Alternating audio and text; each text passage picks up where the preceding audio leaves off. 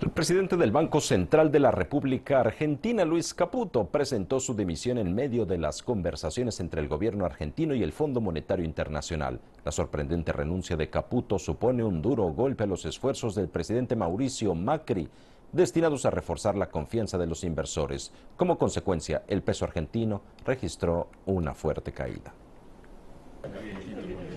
La repentina dimisión de Luis Caputo se produjo tan solo tres meses después de su nombramiento y en medio de las protestas nacionales de los sindicatos.